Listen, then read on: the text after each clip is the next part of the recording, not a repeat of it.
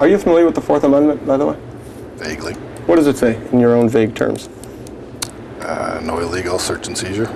Right. Unless there's, Probable cause. or, That's about all I know. And we detained her for further investigation. okay, well, you arrested her, right? Detained. How many people answer to you in this entire county?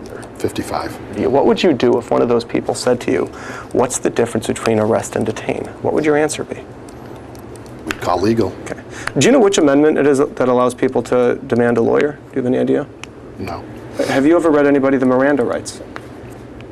No. Would it be lawful for you to continue asking her questions after she has to call her lawyer?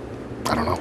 How long have you been employed under, at, at Cook County Sheriff's? 27 years. 27 years. I imagine you only became a lieutenant recently? No. How long ago did you become a lieutenant? 22 years ago? You've been a lieutenant for 22 years and you don't know the Miranda rights? Yes.